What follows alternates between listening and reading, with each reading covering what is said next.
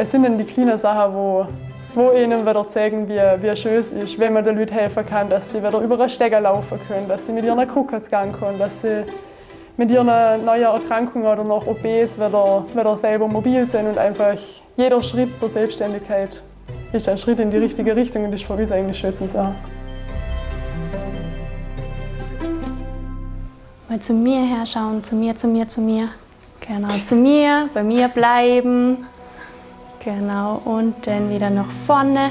Wir versuchen den Leuten zu helfen, dass sie wieder auf die Füße kommen, dass sie Freude an der Bewegung haben, dass sie das in ihren Alltag einbauen können und dass sie auch oft einfach wieder, wieder mobil werden. Ich glaube, im Krankenhaus zeigt sich das ganz gut, wie, wie vielfältig das ist, weil wir sind aber auf der Intensivstation, wo die Leute wirklich noch, noch oft gar nichts selber machen können und mir ihnen mit ihren Bewegungen helfen, über die interne und Chirurgie, wo man nach Operationen mit Leuten wieder aufsteht und wieder, wieder läuft und Treppen läuft.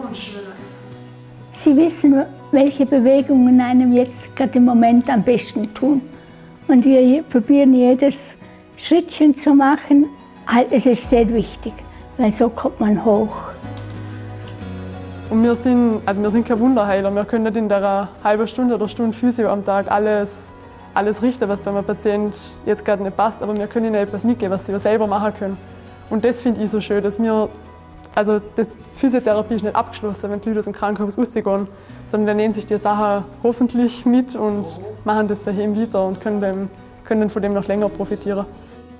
Also grundsätzlich ist ähm, Schwindeltraining, das heißt, ähm, wir schauen, dass wir unser Gleichgewichtsorgan im Ohr reizen und dadurch schauen, dass äh, das Gleichgewichtsorgan wieder besser mit dem Hirn kommuniziert und dadurch wieder sicherer beim Laufen und beim Stehen ist. Unser Job ist eine große Verantwortung, aber es ist einfach, also wenn du am Abend heimgehst und weißt, ich habe das mit dem Patienten geschafft und der ist jetzt heute das erste Mal seit drei Wochen mit mir wieder aufgestanden, weil ich ihm geholfen habe, dass er das wieder kann. Ähm, wenn man sich daran erinnert, was die alles schon durchgestanden haben und wenn man dann sieht, wie, wie die sich wieder aufgerafft haben und dass die doch so kämpfen und auch mit unserer Hilfe dann wieder, wieder weiterkommen. Es kann niemand beschreiben, was sie da macht eigentlich. Oder? Ich will das nicht schmeicheln, aber das, nein, aber das, das, was sie macht, das, kannst, das kann nicht jeder. Und so bin ich schon dankbar. Und das muss ich schon sagen. Das freut mich sehr. Es gibt Zimmer, da kommt man rein und dann wird man freudestrahlend begrüßt, weil es lauter aktive Patienten sind, die gern was tun. Und dann gibt es Zimmer, da kommt man rein und dann werden die Augen verdreht. Also eher schon zum Spaß, also nicht wirklich ganz böse, aber halt so, oh, schon wieder, jetzt müssen wir schon wieder was tun. Aber mitkommen müssen sie grundsätzlich alle. Ich glaube, als, als guter Physiotherapeut man muss offen sein, man muss auf die Leute sagen können. Man muss ab und zu ein bisschen Animateur sein. Und ich glaube, man muss auch einfach ein sehr verständnisvoller Mensch sein. Dass sie immer wieder versuchen, da einzuhängen, wo man ist. Dass sie, weißt, wenn es heute zum Beispiel halt zum Laufen nicht geht, aber morgen probieren wir es wieder. Dass man nicht stehen bleibt, weil dann geht es wieder weg, der Speck. Und freundlich sind sie auch alle. Ja, aber was wollen wir mehr? Da, da fällt das für den zum Mitmachen. Fünf ist okay? okay. Oder tun wir heute mal ein bisschen mehr zur Feier des Tages? Ja, okay. Wir kennen wirklich ganze Lebensgeschichten denn am Ende von solcher Therapie und das ist halt auch also total berührend, dass man uns so viel, so viel anvertraut.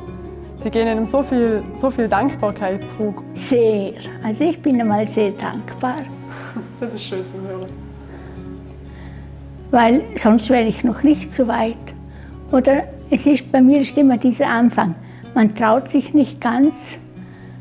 Und, und wenn ich weiß, da ist jemand da, der mich auffängt, dann traut man sich schon mehr.